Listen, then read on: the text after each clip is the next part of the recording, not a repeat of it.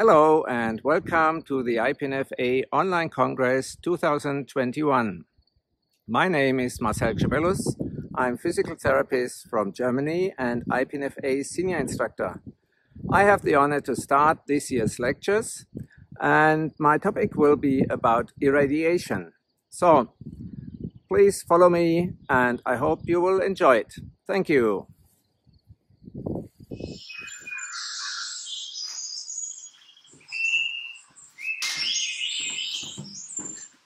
So, hello, and let's start with a presentation.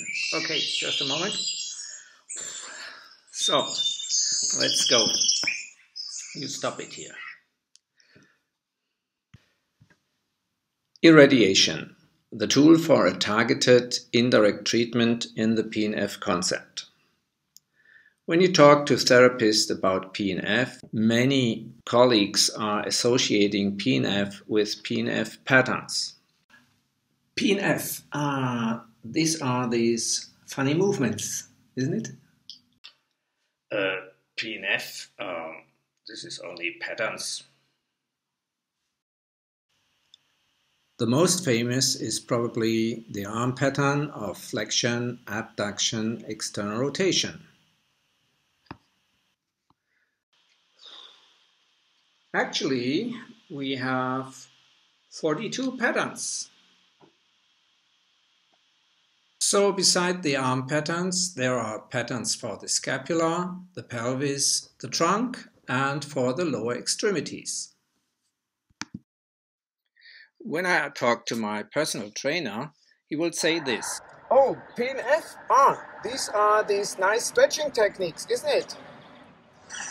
For many of them, PNF is just the synonym for the two techniques of hold relax and contract relax. So checking the literature, you will find there are lots of articles and studies showing the evidence for the effectiveness of these two techniques. But also here we have eight other techniques for different purposes than stretching. Besides patterns and techniques, we have a philosophy and basic principles and procedures. These are the four cornerstones which are forming the PNF concept. So independent from the position where we are working, the goal is to improve the patient's participation. So when you deal with PNF, sooner or later you will come across the term of irradiation. And for this, we should go back into history. So let's go to the roots of PNF.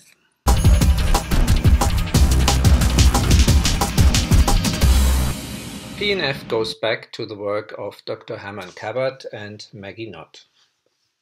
Kabat's intention was to translate scientific knowledge into clinical practice, which means the neurophysiology as known at that time, was the base to develop techniques and procedures in order to improve motor control. I think Sherrington mentioned irradiation already. Sherrington he described in 1906 already irradiation as a spread of reflex responses about a focus. In an article of 1953, Kabat is defining irradiation as a natural and automatic result of an effective muscle contraction, such as it is produced by resistive exercises. Voss, Ionta, and Myers are talking about a spread of muscle activity, and nowadays in the IPNFA we define irradiation as a spread of excitations within the nervous system to stimulate muscle contractions in other parts of the body. Which means we have here a patient, we can resist on the arm, and as a result of this resisted exercise, we might see some action in the calf muscle of the opposite leg. So irradiation can be used to stimulate the patient in a way that he is using other parts of the body, and we call that indirect treatment. In the daily therapy, you can observe very often following. You're asking the patient to press down one knee in order to stimulate the quadriceps and at the same time, simultaneously, the patient is contracting the quadriceps on the opposite limb. Some people will call it associated movement, and in the literature you find very often the terms of cross-lateral effect, contralateral transfer, cross-training, cross-education. And there is a study from 1894 which was showing at that time already that a unilateral training is showing a strength increase on the opposite limb. So let's go for unilateral training. We save a lot of time.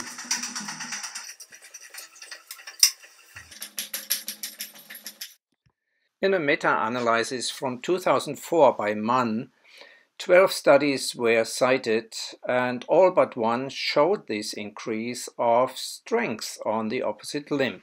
Certainly we have therapeutic situations where we can make use of this effect, especially in the sense of reinforcement, but I like to put a question mark at this point here and draw the attention to the functional approach of irradiation. Isaac Newton, the Bali impender, and why some fishermen use outriggers. This gentleman here, who looks like a rock musician from the 1970s, is Isaac Newton, who lived actually 300 years ago. This is a so-called Bali impender. It's a device for physical exercises, so you can train your upper extremity with it.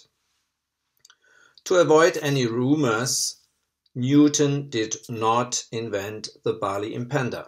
Actually, Newton was describing the laws of mechanics. Newton's third law is saying that for every action there is an equal and opposite reaction.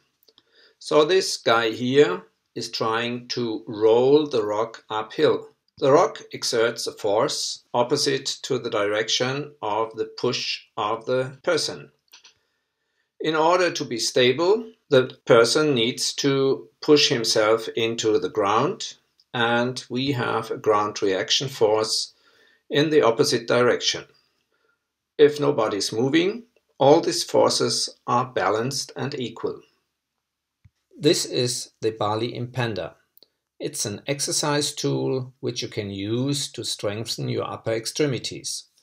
Basically, it consists of a spring with two handles.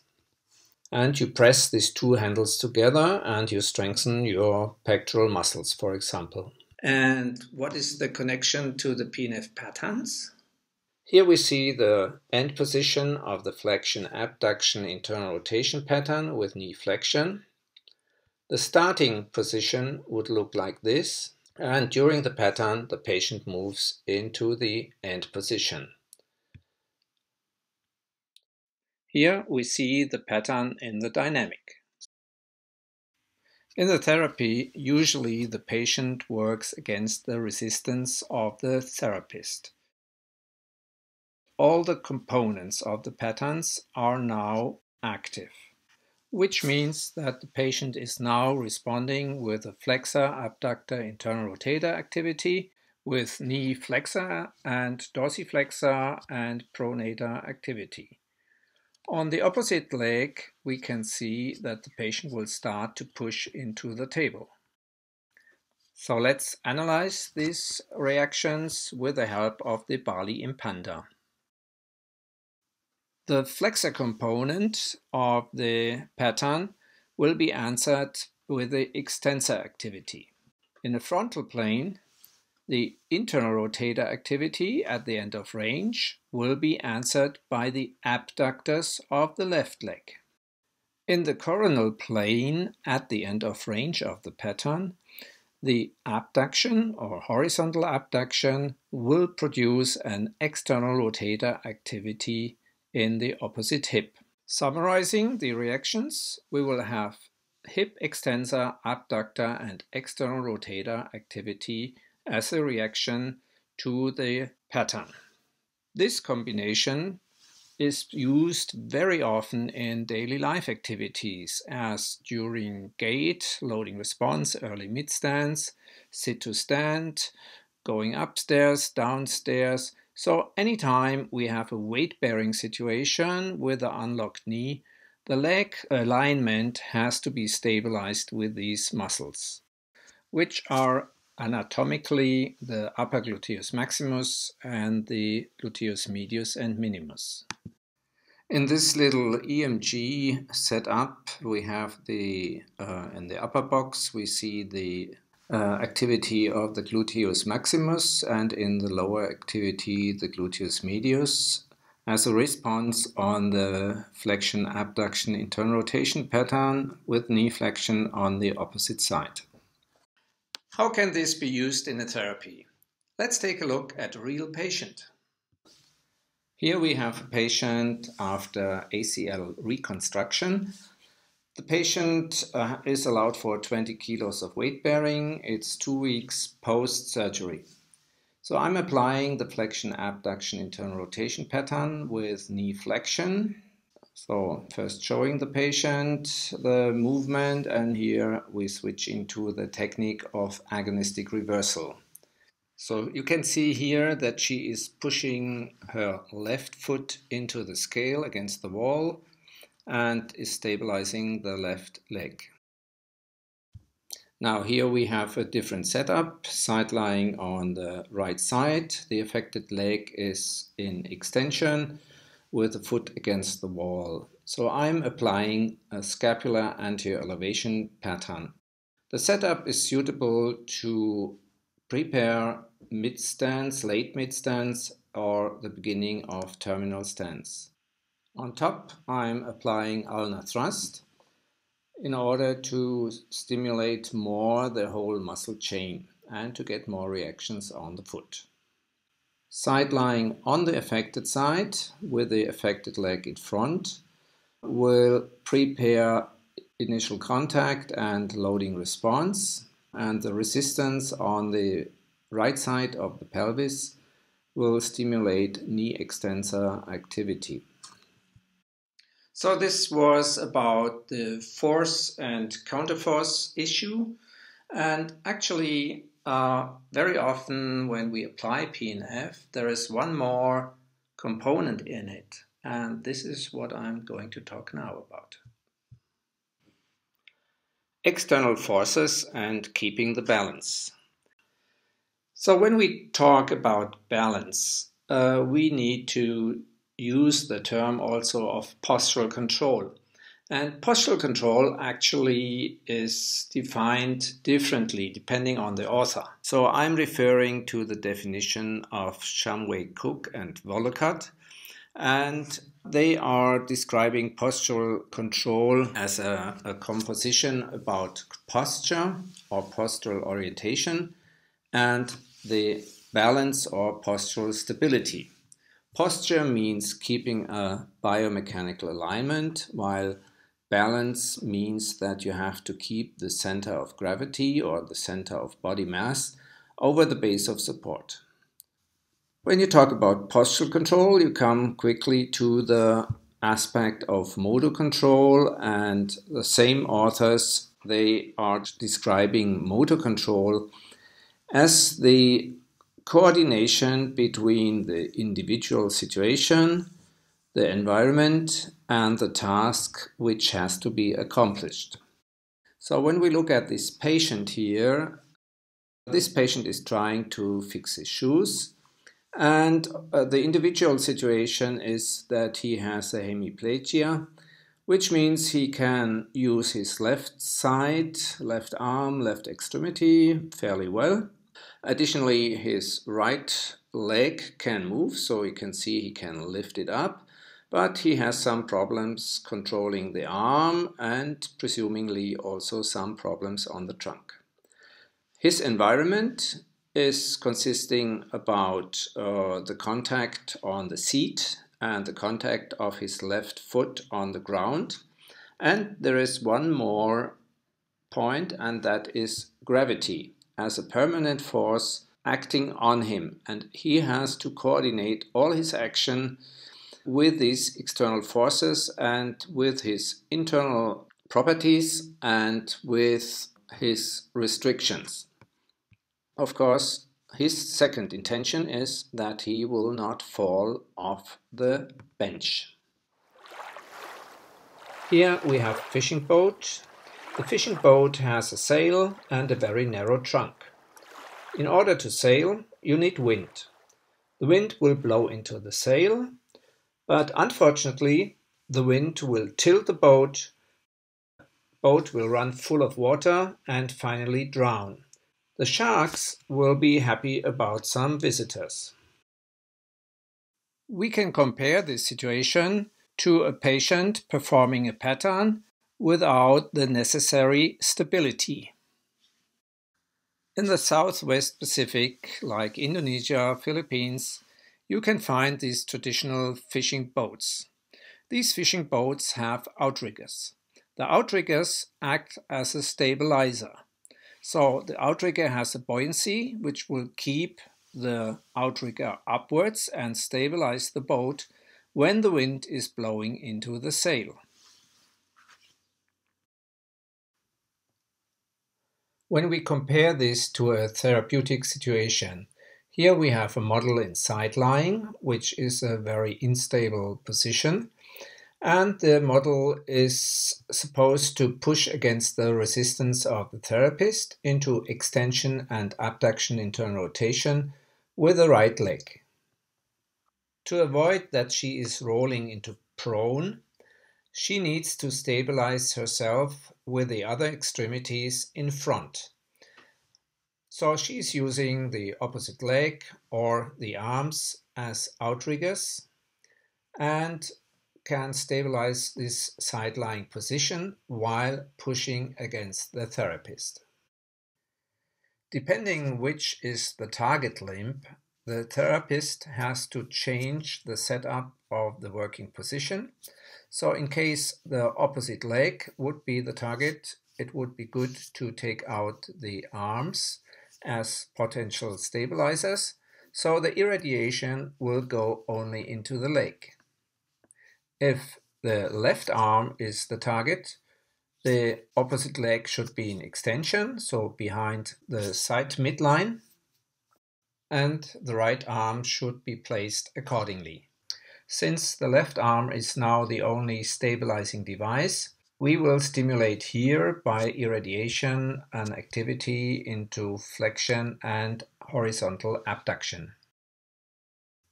And for the right arm, we should place the left arm under the head and then we can stimulate a flexor adductor activity in the right shoulder.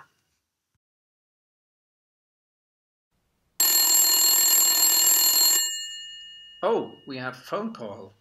Okay, just a moment. Oh, IPNFA Irradiation Center, how can I help you? Good day, Marcel. Max here from Australia. How's it going? Just a quick question for you. Is irradiation only happening when applying PNF? Thanks, mate. Appreciated. Actually not. Uh, let me show you one example here. Oh, wait, here. Let's go. Here we have a person in standing. The center of body mass is directly over the ankle joint, which means there is no torque in the ankle joint. With a natural sway, which we have normally, a little bit forward, a little bit sidewards, the plumb line in relation to the ankle joint will move. So in case the center of body mass is moving forward, we will see that the plumb line is anterior of the ankle joint. This will create a torque into dorsiflexion, which will be answered by this person with the activity of the plantar flexors.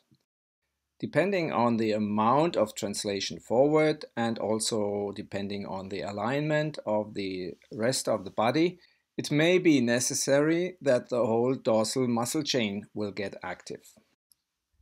So what will happen if we apply a resistance from dorsal?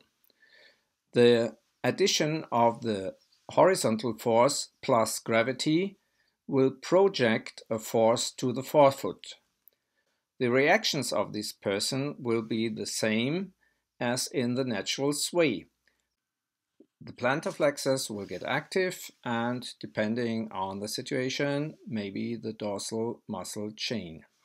So mechanically, it doesn't make a difference if the center of body mass is moving and creating a torque or if an external force like a manual resistance is producing this torque. The person has to react in order to maintain the balance. So when we come back to our knee patient from before, we can use this principle also in higher position. Additionally to our manual resistance, gravity will become more and more effective. The high sitting position combined with the trunk extension pattern and the technique of agonistic reversal will stimulate hip extensor, knee extensor and plantar flexor activity. So a little change in the setup here in a high one leg sitting situation will increase the weight bearing on the left foot. The half standing situation resembles to normal standing or to situations like uh, mid stance. And here we can already prepare activity level very close to what the patient needs to do later. Since gravity now here is in the same line as in the real life situation using anti-elevation pattern of the pelvis or of the scapula can facilitate a mid-stance coordination pattern. Depending on the focus of the treatment, so which body function, which activity we want to improve, we can choose different setups and stimulate the affected limb in a very functional way to prepare activity. In respect of motor learning, this is a very accepted way to improve the performance of the patient. Just one more thing in respect of the balance issue for the completeness. The outrigger model is suitable to explain how a person is stabilizing herself or himself by pushing against the floor, pushing against the wall, holding on a heavy object. But there is a different strategy available and this is also being used, but it has some limitations. Yachtsmen or sailors they know that you can stabilize a boat by using your body weight and leaning out on the windward side. The limitation of this strategy is the available body weight.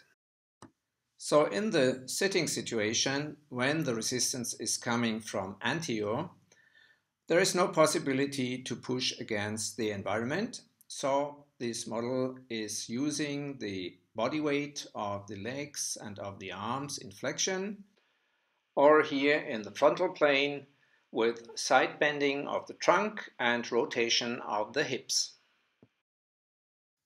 And if we apply a diagonal resistance, we can see reactions which are resembling of PNF patterns. But this is a different story. So, irradiation is nothing but balance reactions.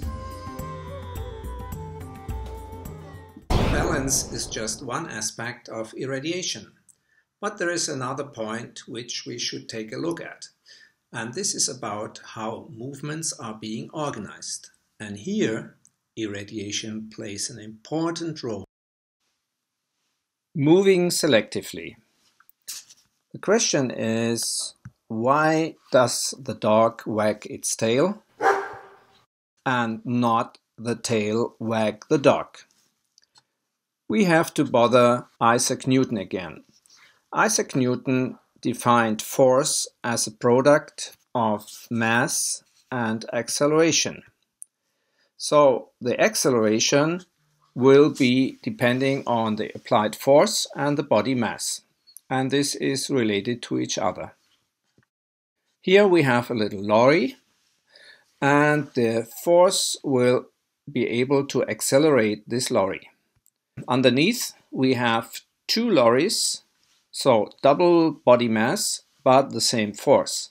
As a consequence, the same force will now produce half the acceleration of the two lorries.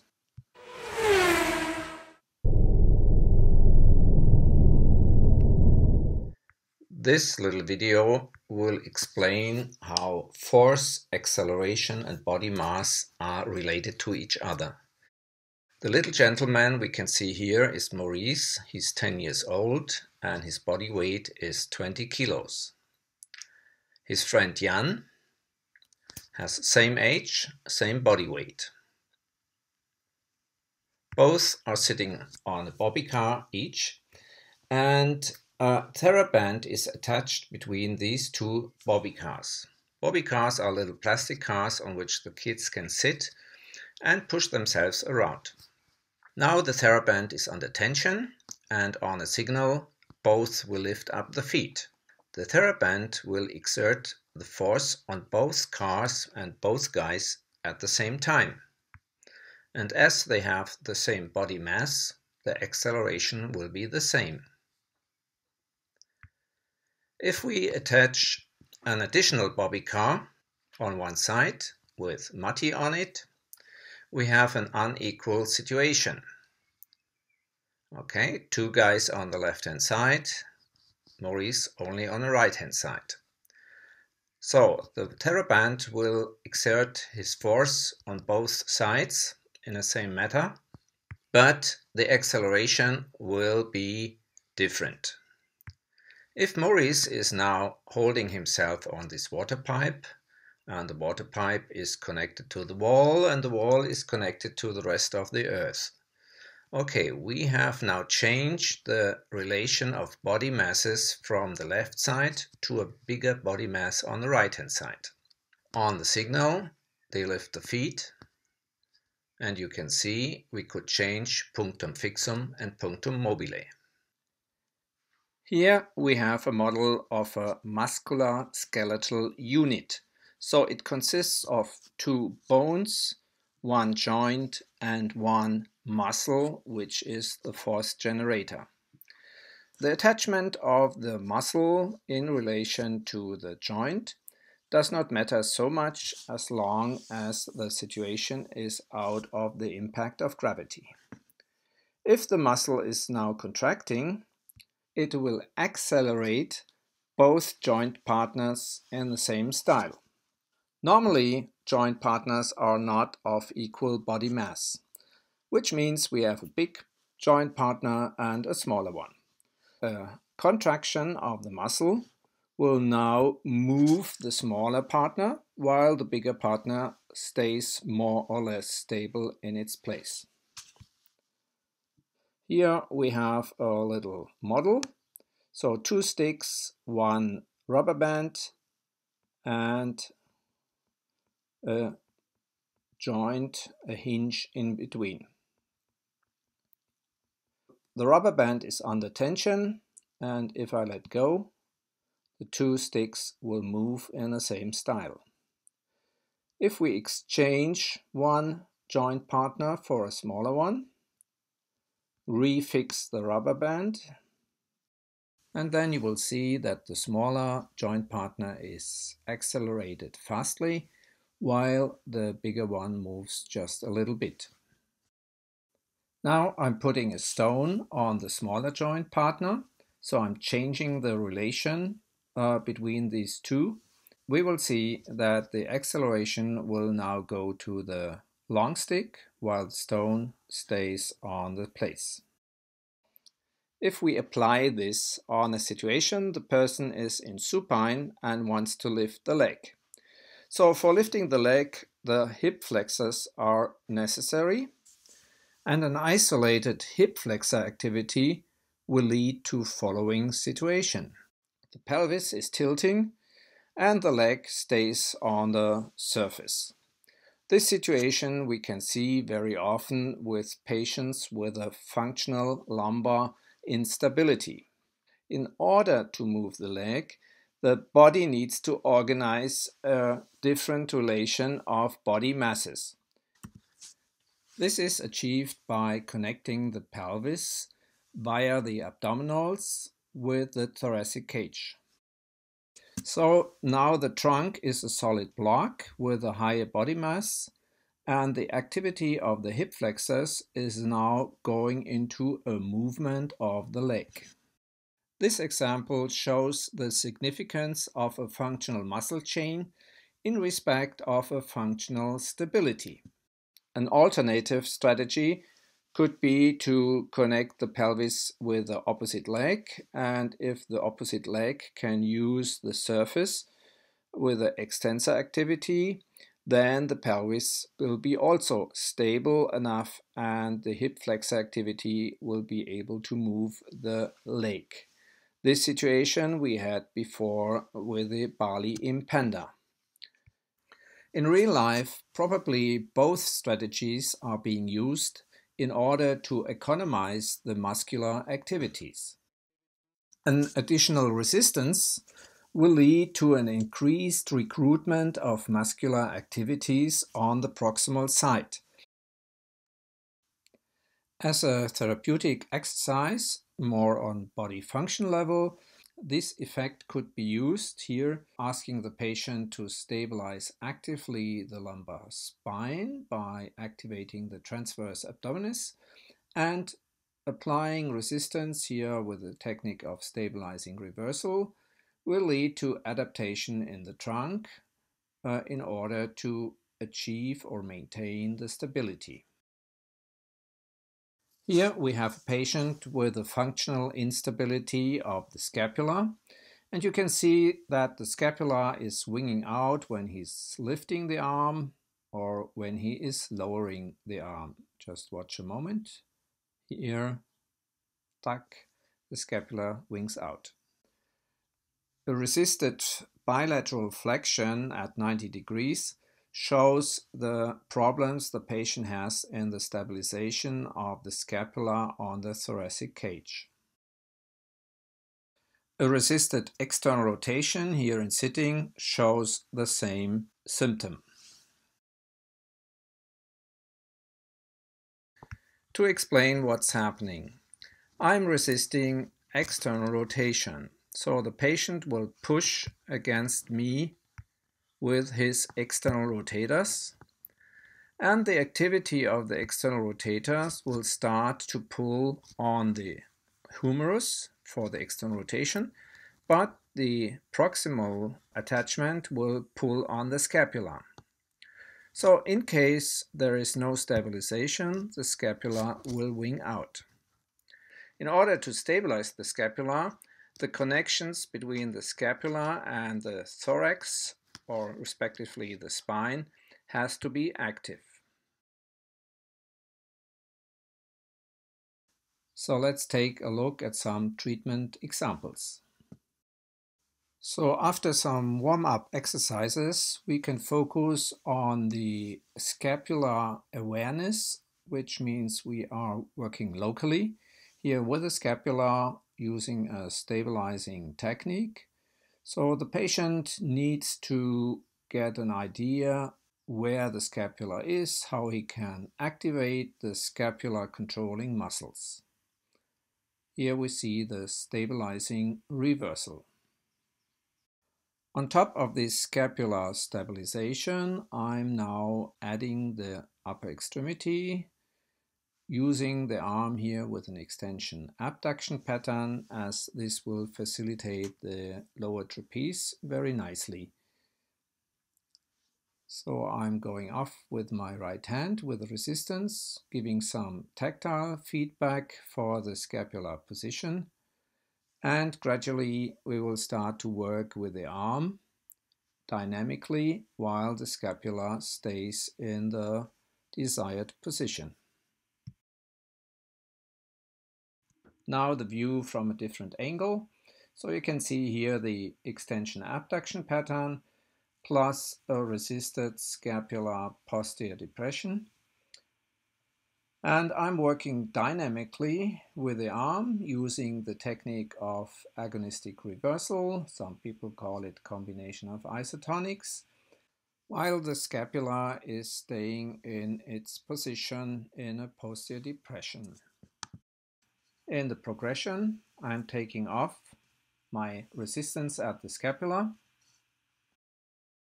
stimulating only with my fingers, giving a feedback for the position of the scapula before we change into a different position.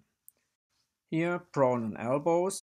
Advantage of this position is that we additionally can activate the serratus anterior muscle, a very important muscle for the scapular stabilization together with the lower trapeze.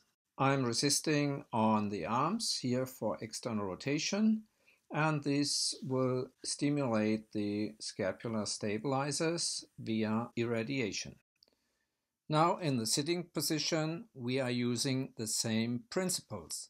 So controlling the scapula while the arm is active, moving or holding. The stimulation of the scapular control is slowly being reduced. So from a resisted situation, I slowly go into a just tactile stimulation and finally take my hands off the scapula while the patient is still active with the humerus. So in this phase of the treatment, so basically we are doing motor learning here, a verbal feedback can be very useful when the other stimuli like resistance and manual contact are being taken out.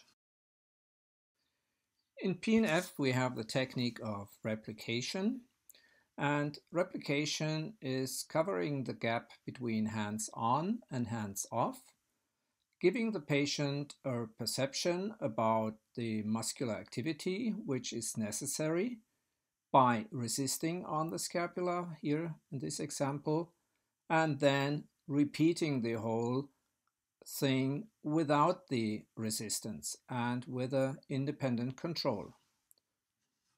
So we see here again, I'm resisting on the arm and on the scapula and then asking the patient to move the arm against resistance and taking care of the scapula by himself. Once the patient has good perception about the control of the scapula, we can go for training, like here with a resisted external rotation bilaterally. In the post-test, we can see here a much, much better stabilization of the scapula. The patient has to concentrate himself to do the correct movement, but he is able to control the scapula in a nice way. So here in direct comparison, the post-test on the left and the pre-test on the right.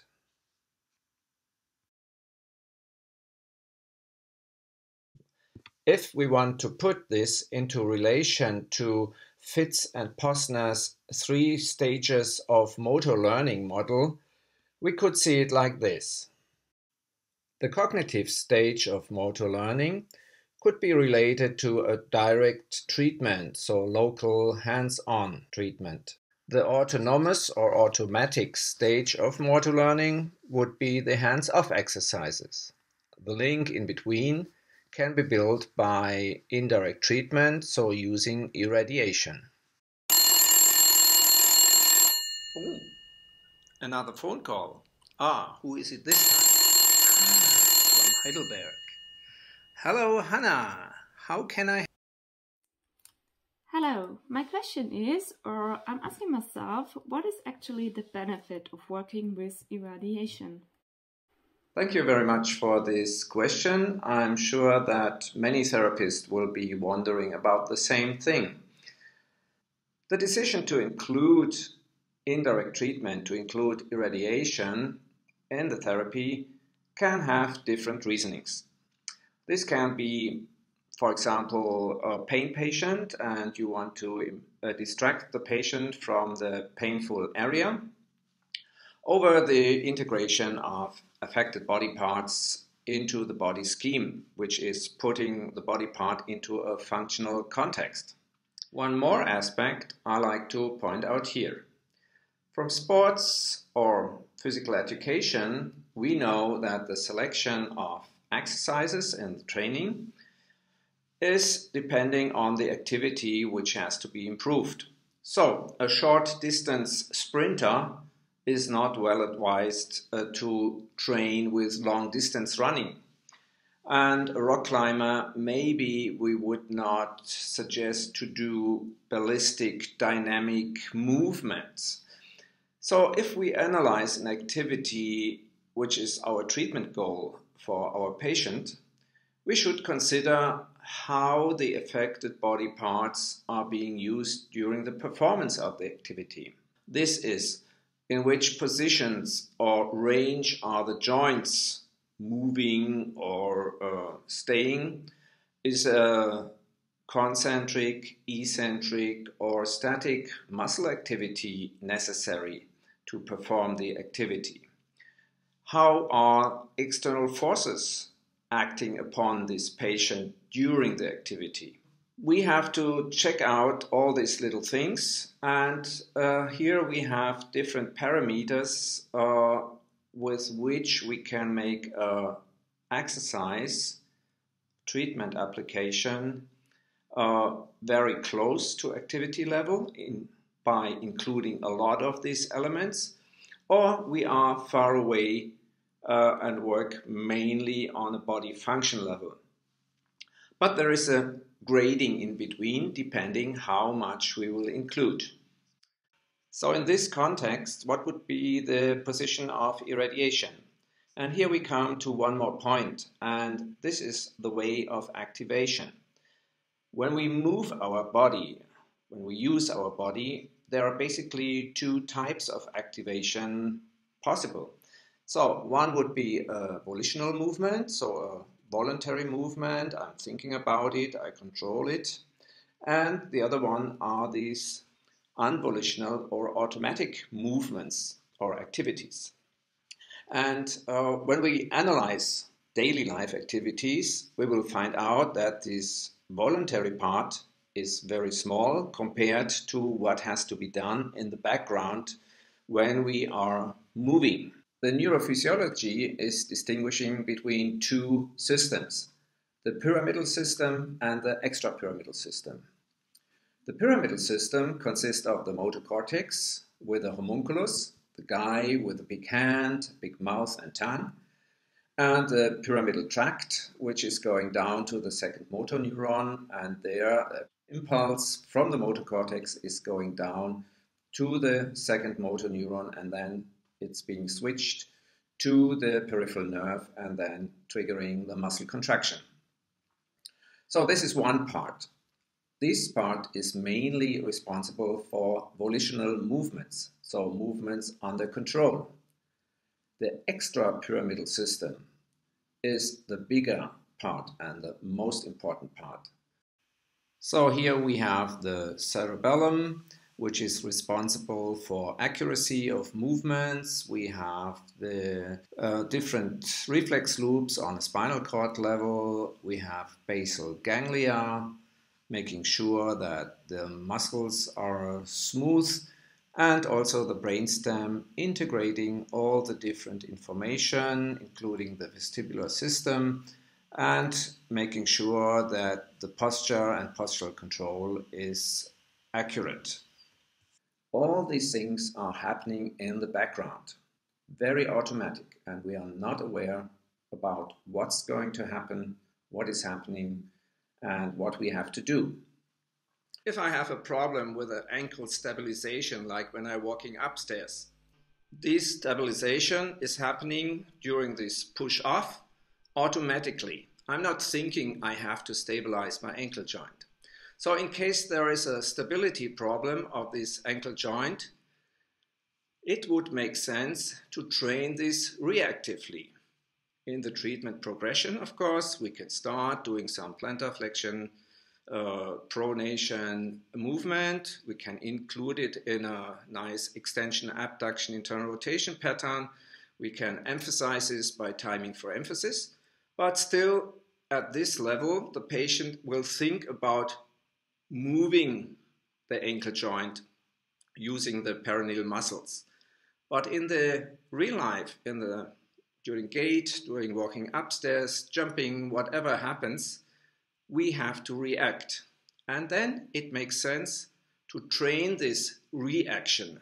So we make the patient active with the upper extremities, for example, bring him in a position where this joint is in a from joint position in a functional situation and then train this reaction.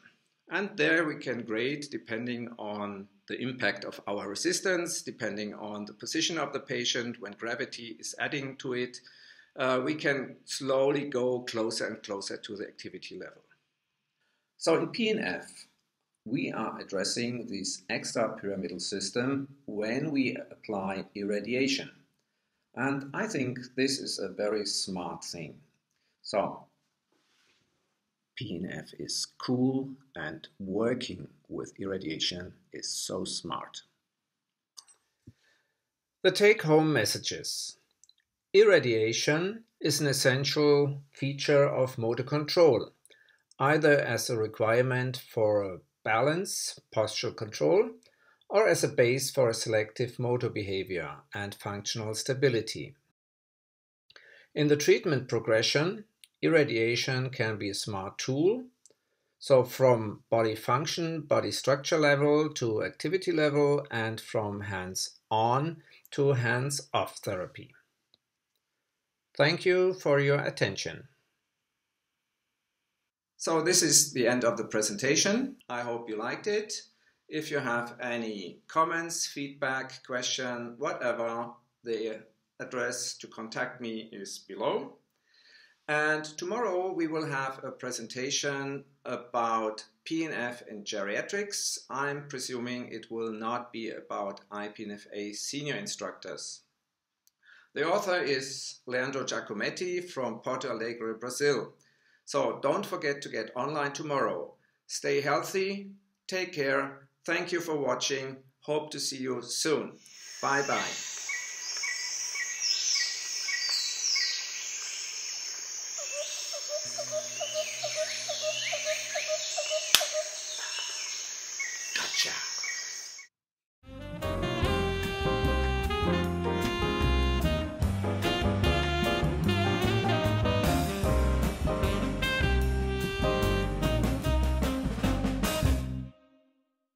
Tomorrow we travel to Porto Alegre in Brazil.